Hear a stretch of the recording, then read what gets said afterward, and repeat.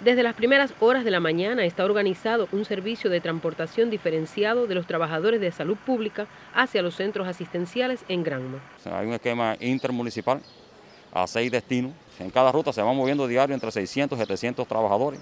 Eso oscila en dependencia de la cantidad de ellos por, por, por turno. Ante las lógicas preocupaciones de la población sobre las altas médicas, este servicio también está garantizado. Tenemos organizados las altas médicas mediante un convenio que tiene el hospital con Omnibus y Cuba Taxi. El reporte de los pacientes se hace antes de las 12 del día y a partir de las 2 de la tarde es que se vienen a recoger los pacientes. Es un logro la garantía de la transportación de los pacientes de hemodiálisis bajo el sistema tradicional. Llevo 15 años y nunca me ha fallado el taxi ni nada por el transporte de, de aquí. Venimos a, hacernos la diálisis, me voy en el mismo taxi hasta la misma casa, todo bien. Para todos los propósitos en bien de la salud del pueblo, está establecido un refuerzo a nivel de Consejo de Defensa que abarca también los servicios de ambulancia.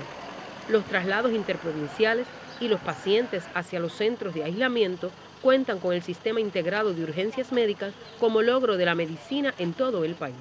Todos los ajustes realizados en bien de la salud del pueblo contemplan el estricto cumplimiento de las medidas sanitarias antes de abordar el transporte y la desinfección total de los medios después de cada recorrido. En Granma, Elena Lienz, Sistema Informativo de la Televisión Cubana.